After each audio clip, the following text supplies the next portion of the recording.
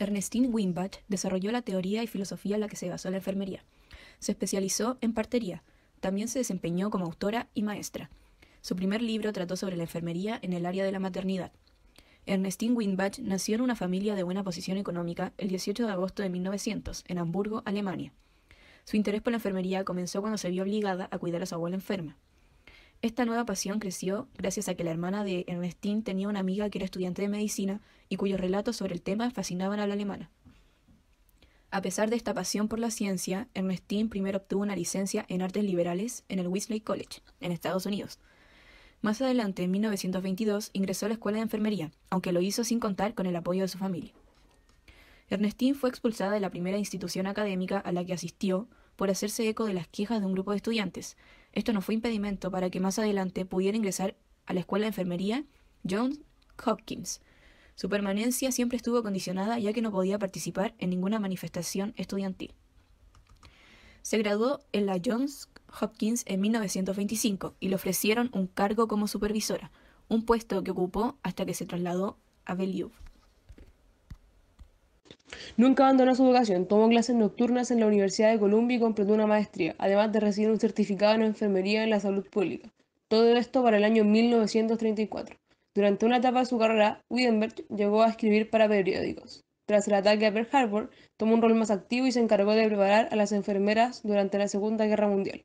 Con 45 años siguió estudiando y se inscribió por recomendación de Hazel Corbin en la escuela de matronas. Obtuvo el título, se desempeñó como partera y llegó a declarar que lo que más le gustaba era atender nacimientos a domicilios. En 1952 se convirtió en la directora de los programas de posgrado neonatales en el área de enfermería de Yale. Fue una pieza filósofa. Se retiró en 1966 y nunca se casó. Murió cuando tenía 97 años, el 8 de marzo de 1998. El objetivo de la teoría.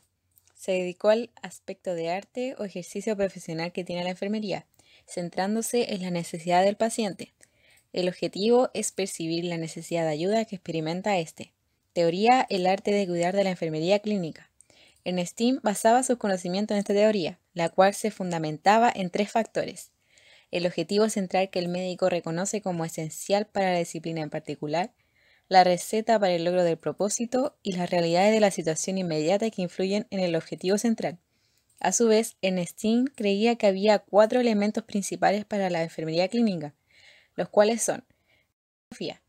La filosofía es lo que motiva a la enfermera para actuar de cierta manera. Además, caracterizó componentes esenciales asociados con aquella. La reverencia por la vida respecto a la dignidad, el valor de la autonomía, el bien general del paciente en cada uno de sus ámbitos personales y el entorno. Práctica estaba reflejada en las acciones de la enfermería que se observaban cuando las enfermeras se encargaban del cuidado y bienestar del paciente que solicitaba ayuda. Arte. Incluye la comprensión de la enfermera sobre las necesidades e inquietudes de los pacientes, las metas de su desarrollo y las acciones destinadas a la mejora de capacidad de los mismos. Ernstein definió al paciente, persona que ha entrado en el sistema de salud y está recibiendo ayuda de algún tipo, como la atención, la enseñanza o el consejo. La necesidad para ayudar, cualquier medida deseada por el paciente que tiene el potencial para restaurar o ampliar su capacidad de hacer frente a diversas situaciones de la vida que afectan en su salud y bienestar. La sentencia es la decisión acertada que toma la enfermera. El buen juicio es el resultado del funcionamiento disciplinado de la mente y las emociones. Los conceptos de la disciplina. Salud Bienestar total, tomando al individuo como un ser holístico, analizando sus aspectos tanto biológicos, psicológicos, sociales y culturales. Cuidado.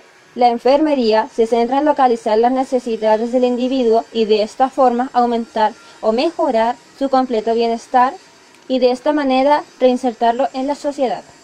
Persona.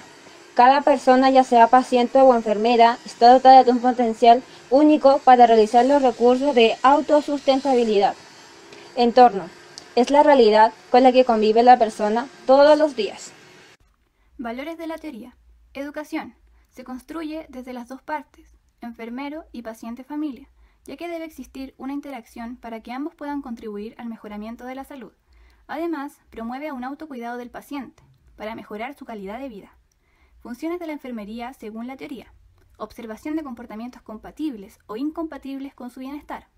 Exploración del significado de su comportamiento. Determinación de la causa de su malestar o incapacidad.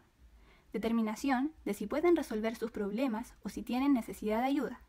Después de eso, la enfermera debe administrar la ayuda necesaria y debe comprobar que se haya satisfecho la necesidad de ayuda.